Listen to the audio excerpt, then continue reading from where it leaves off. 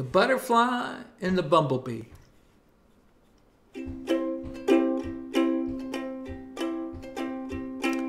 The butterfly and the bumblebee were dining out at the butterfly tree, eating treats and drinking tea on a Thursday evening. You could almost hear the bumblebee sing to the beat of the butterfly wings. One of God's amazing things in this constellation.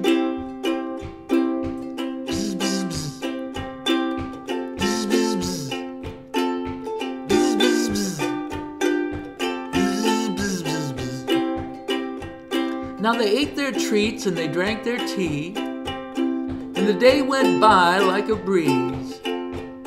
I couldn't hear, but I believe they talked about the weather. Butterfly didn't seem to mind. The bumblebee was doing fine.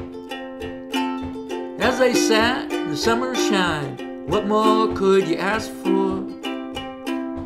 Bzz, bzz, bzz.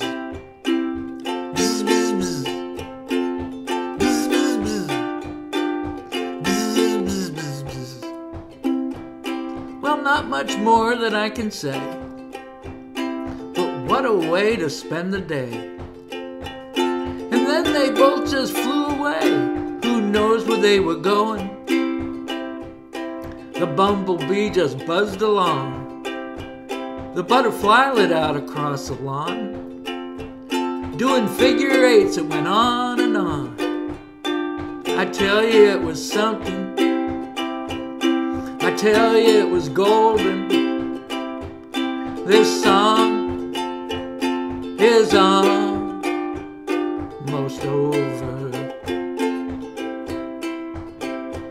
So if these amazing insects fly your way, and if they have a while to stay,